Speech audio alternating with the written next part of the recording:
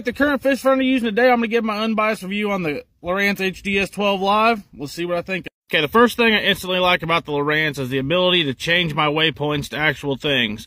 Brushes, brush piles.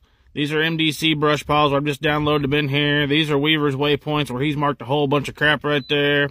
Or if I want to mark a rock, I can mark a rock pile. Easy enough. So the ease of use on waypoints was the first thing I noticed with this. Humminbird doesn't offer this. I don't think Garmin offers this, so I love the waypoint management system. It's going to be easy to use. Pop up this home screen. Got my presets over here. Got the stuff in the middle that I use a lot. I usually run the mapping and the side view or the mapping side view and down view. That's the menus I run a lot. On the water, so I can't show you the side scan, but I was really, really impressed with the side scan. This brush piles show up really, really well, and rock shows up better than I thought. I didn't get to play around with the down imaging a lot on. I used it some, and I could see fish down around bait balls, but I went up and used a LiveScope for that. So I was a Humminbird guy forever overall. I'm going to give it a 9 out of 10. I'm pretty happy with the Ranch HDS Live 12, and uh, I'm going to have another one on my next boat. Have no issues out of this one. It's worked every time.